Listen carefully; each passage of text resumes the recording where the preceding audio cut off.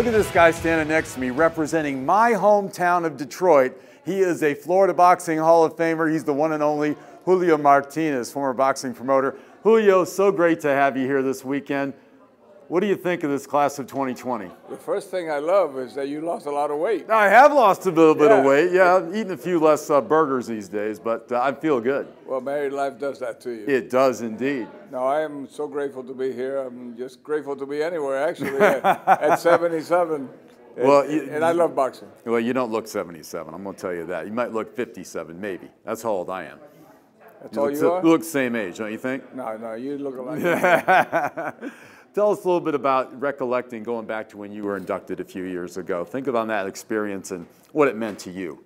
Well, you know, uh, most people don't get to the top of uh, whatever they do in life, and I was able to do it because, you know, I've been in boxing since I was eight years old.